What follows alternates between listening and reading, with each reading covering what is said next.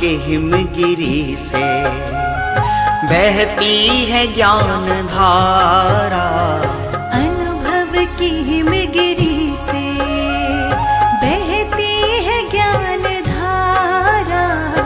अनुभव के हिमगिरी से बहती है ज्ञान धारा।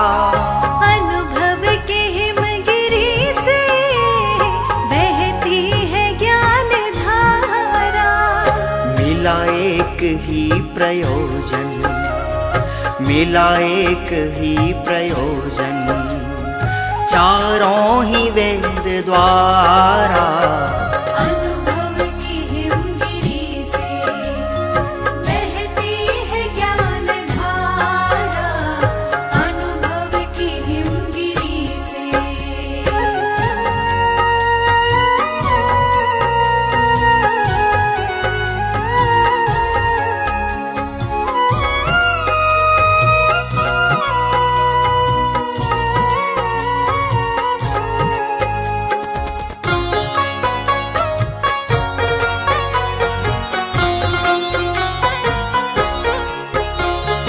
प्रथमानुयोग हमको, शुभ अशुभ फल बताए। प्रथमानुयोग हमको, शुभ अशुभ फल बताए। सब पाप से छुड़ा कर निज धर्म में लगाए। जग की विचित्रता को जग की विचित्रता को हमने भी अब विचारा।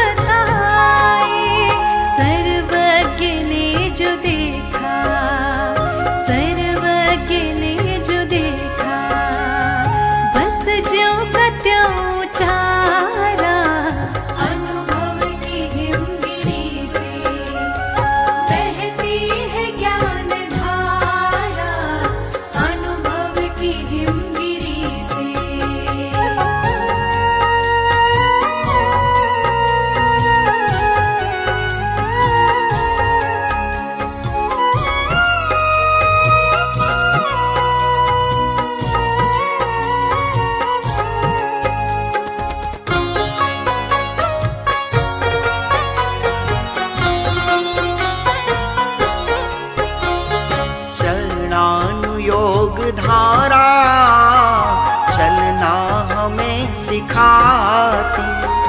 चरणानुयोग धारा, चलना हमें सिखाती।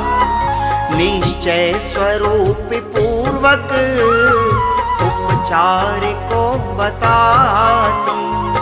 आवागमन हमें आवागमन हमें अब नहीं चाहिए दोबारा।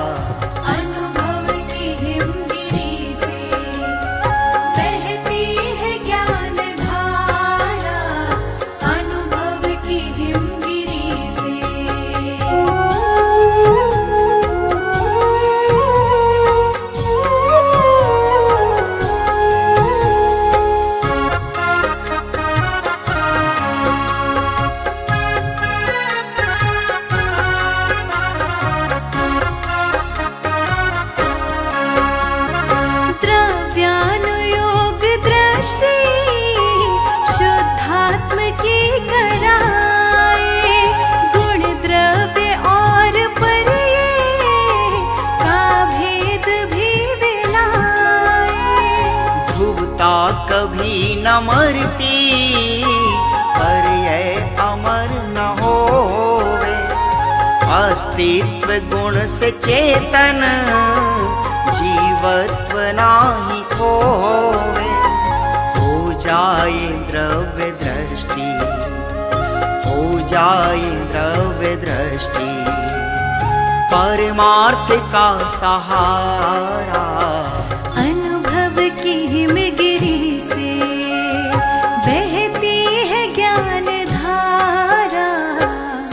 अनुभव के हिमगिरी से। बहती है ज्ञान धारा। अनुभव के हिमगिरी से। बहती है ज्ञान धारा।